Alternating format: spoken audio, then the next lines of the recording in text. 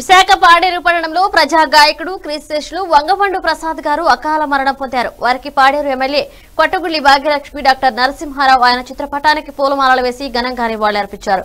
ఈ సందర్భంగా ఎమ్మెల్యే మాట్లాడుతూ ఉత్తరాంధ్రలో మంచి ప్రజా గాయకుని ఈ రోజు కోల్పోయామని చింతించారు. ఈ కార్యక్రమంలో అరకు పార్లమెంట్ విద్యార్థి విభాగం అధ్యక్షులు తేడబారికి సురేష్ కుమార్ డివిజన్ విభాగం అధ్యక్షులు విశ్వ కన్నపాత్రుడు తదితరులు పాల్గొన్నారు. अमर रहे आपका भाटो अमर रहे। अमर रहे आपका भाटो अमर रहे जोहार अमर रहे भगवंत जोहार जोहार भगवंत प्रसाद करो जोहार जोहार भगवंत प्रसाद करो जोहार जोहार भगवंत प्रसाद करो जोहार जोहार अमर रहे भगवंत प्रसाद करो अमर रहे अमर रहे अमर रहे भगवंत प्रसाद करो अमर रहे अमर रहे साधिस्तान साधिस्तान या सारा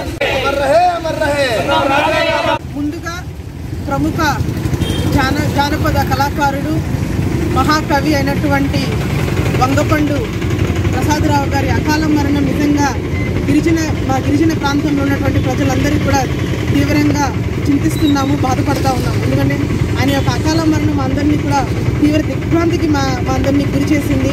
సో ఈ సందర్భంగా ఆయనకి శాంతి చేకూరాలి. అదేవిధంగా ఆయన కుటుంబ సభ్యులందరూ కూడా ఆ భగవంతుని యొక్క ఆశీర్వాదం నుండి వాళ్ళ మనోధైర్యం తీసుకెళ్ళాలని సందర్భంగా నేను తెలియజేస్తున్నాను తన యొక్క పాటలతోని ఎంతో మందిని ఉత్తేజపరిచి ఈ ఈ పార్టీ యొక్క విజయానికి కూడా ఆవిడ ఎంతో కృషి చేశారు.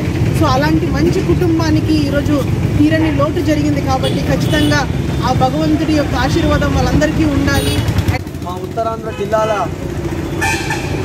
ప్రజల చిరస్థాయిగా ముద్ర వేసినటువంటి మా కామ్రేడ్ వంగపండు ప్రసాద్ గారు అకాల మరణాన్ని ఈరోజు పాడేరు శాసనసభ్యులు ఆధ్వర్యంలో ఈరోజు Paderu Adukota doctor B R Ambedkar విగ్రహం దగ్గర సంతాప సభ లాగా ఏర్పాటు చేయడం జరిగింది. కరోనా ఉండటం వల్ల కొద్ది మందితో కూడి ఈరోజు మా ఉత్తరాంధ్ర ప్రజలకు చిరస్థాయిగా వంగపల్లి ప్రసాద్ గారు ఉంటా అనేక పోరాటాలు చేసి ప్రజల కోసం అని చెప్పి నిరంతరము ఆయన పాట ద్వారా ఆట ద్వారా ముందుకు సాగినటువంటి వ్యక్తి వంగపండు ప్రసాద్ గారు.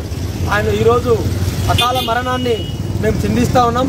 ఈ కార్యక్రమాన్ని ఉద్దేశించి మన పాడేరు శాసన సభ్యురాలు అలాగే మన డాక్టర్ నరసింహరావు గారు ఉన్నారు.